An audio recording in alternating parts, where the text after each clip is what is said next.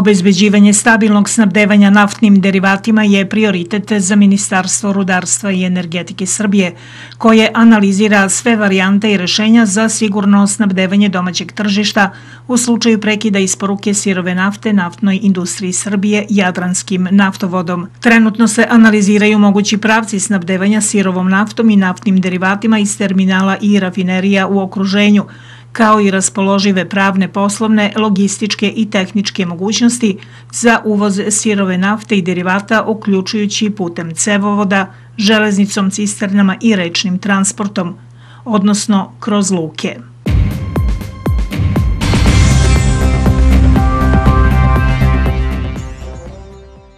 Ručni sat i blo modela e, Bing Bang prodat je na prvoj carinskoj e-licitaciji za 895.000 dinara.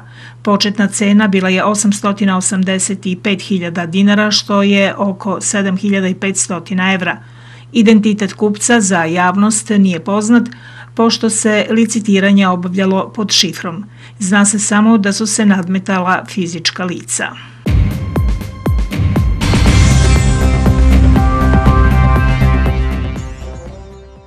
Poreski status freelancera u Srbiji trebalo bi do kraja ove godine da dobije svoj konačni oblik, koji će zadovoljiti kako nadležne institucije, tako i radnike.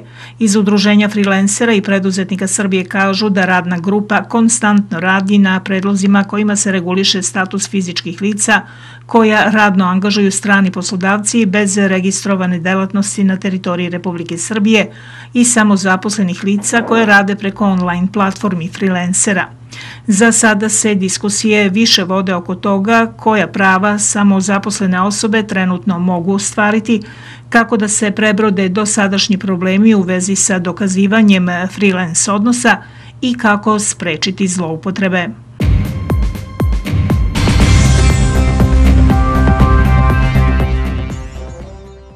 Zvanični srednji kurs dinara prema evru iznosi 117,75 dinara za evro, što je neznatna promjena u odnosu na utorak, objavila je Narodna banka Srbije.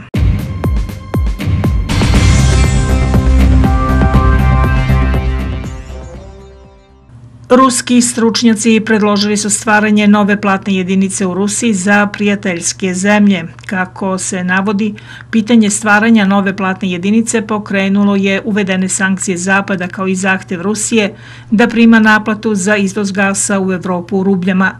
Ekonomisti Centra za makroekonomsku analizu i kratkoročno predviđanje Instituta za ekonomsko predviđanje Ruske akademije nauka navode da bi za formiranje sistema obračuna bez dolara mogle biti zainteresovane zemlje Evroazijske ekonomske unije, Kina, Indija, Iran, Turska i niz drugih država.